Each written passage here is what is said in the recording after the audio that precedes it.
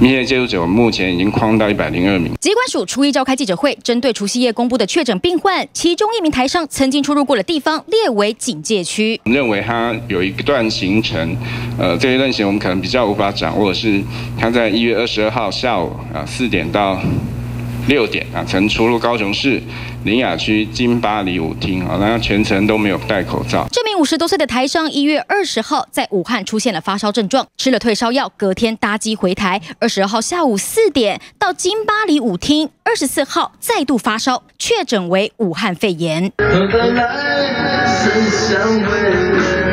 机关署紧急公开这个行程，因为新型冠状病毒主要传染途径是飞沫和接触传染。如果面对面超过十五分钟，感染风险大幅提升。而舞厅的包厢属于密闭空间，还有桌边服务人员，舞客出入复杂。这个舞厅在在这个地方出入的舞客，呃，跟舞客。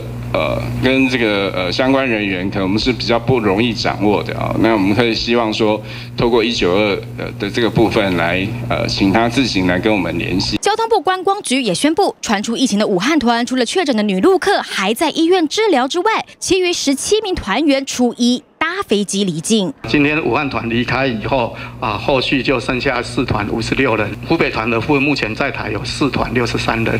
好，这个部分我们也都持续跟这个机关署这边来配合做相关的防疫工作。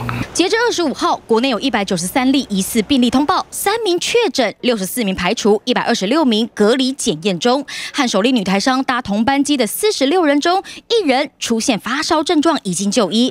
中央流行疫情指挥中心紧急公开。患者的行程要民众上紧发条，严阵以待。记者综合报道。